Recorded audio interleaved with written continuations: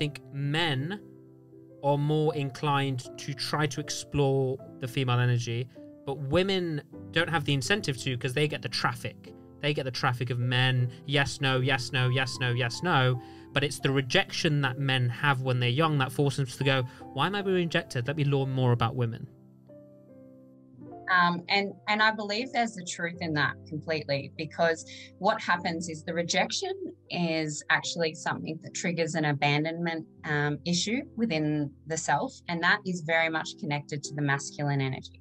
Um, abandonment and um, the lack of self worth is sort of a masculine core wound, if if you've heard of that, and they sort of all fit together. So when you're getting rejected and you've got this abandonment stuff coming up and you're like, why is this always happening to me? And and the masculine energy is very logical. So they like to sit in consciousness and understand and put data points together to make sense of a situation.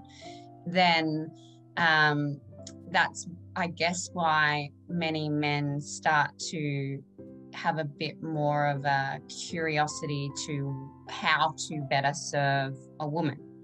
Um, but it also is a double ended sword in that way because a lot of men, by getting to that point of how do I serve this woman, how do I make them happy, they go into that provider role of I'm supposed to do this, this, this, and this, that they actually give themselves up for a woman to have a happy relationship um, which also causes that separation because you have to honor yourself first before you can love and give to someone else.